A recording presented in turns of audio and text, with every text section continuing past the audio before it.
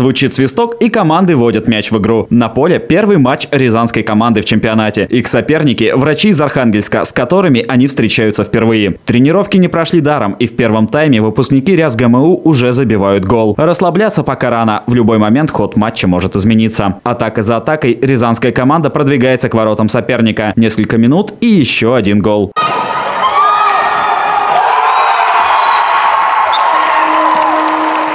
Автор второго гола Алексей Буданов, капитан команды. Он работает нейрохирургом в областной клинической больнице. Что примечательно, его коллеги про увлечение футболом знают. И многие присутствуют среди болельщиков. А поддержка команде нужна всегда. Звучит финальная сирена. Счет встречи 3-0. Стопроцентный результат.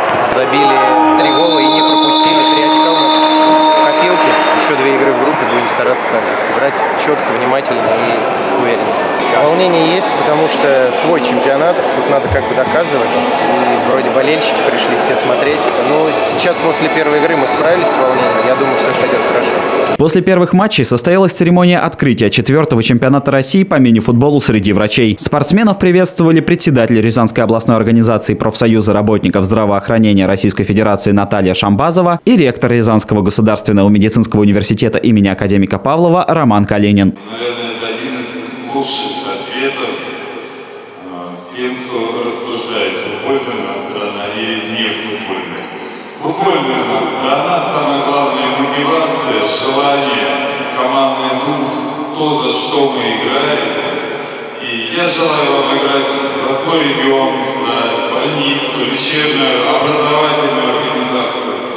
Побеждайте, друзья. Проигравших здесь уже нет тем, что вы играете, тем, что вы приехали. Вас объединила медицина и футбол. Это прекрасно. Я желаю вам.